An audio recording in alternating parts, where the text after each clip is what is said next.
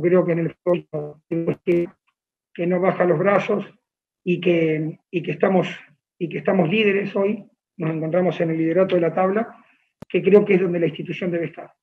Eh, en cuanto al liderato, eh, lo importante para nosotros es, entrar a la liguilla. Ese es el objetivo que nos pusimos, que es el lugar que merece estar, como el resto de los, de los equipos seguramente piensan lo mismo. En este caso nos toca a nosotros y lo, y lo vamos a, aprovechar. Ahora cuando uno está arriba, por supuesto que, que viene la parte más difícil, que es el segundo 50% del torneo, donde define casi todo en el, en el último 50%.